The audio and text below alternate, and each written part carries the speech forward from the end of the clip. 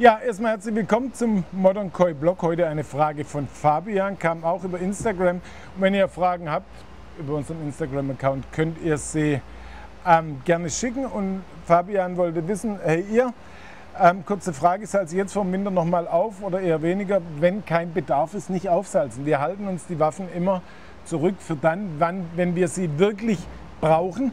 Und wie viel Wasserwechsel kann ich denn noch bei schwankenden Temperaturen machen? Danke schon mal im Voraus und schönen Sonntag.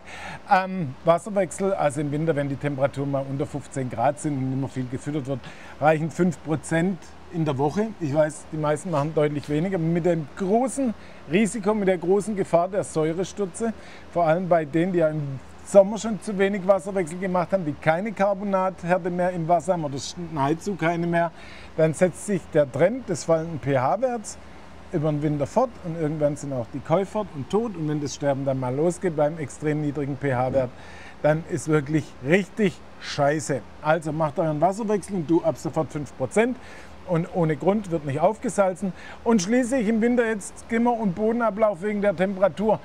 Das ist auch so eine Frage, die man nicht beantworten kann.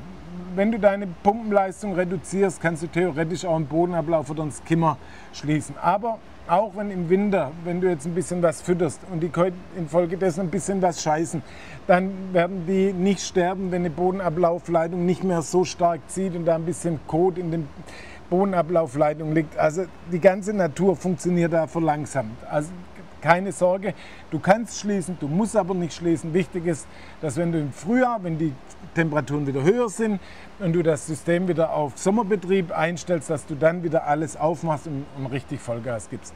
Also ich persönlich würde im Winter alles so lassen, wie es im Sommer ist. UV-Lampe aus, Pumpe runter, soweit es geht, dass noch ein bisschen Strömung ist. Ähm, das ist zum Beispiel ein wichtiger Fakt. Nehmt den, den ähm, den Koi im Winter, je nachdem, was ihr für eine Teigform habt, die Strömung, weil gegen die Strömung anzuschwimmen, das kostet richtig Energie. Macht ruhig, wenn ihr kalt überwintert und alles ist fein. So, Fabian, ich hoffe, deine Fragen ausreichend beantwortet zu haben. Mach's gut und vielen Dank und bis zum nächsten Blog.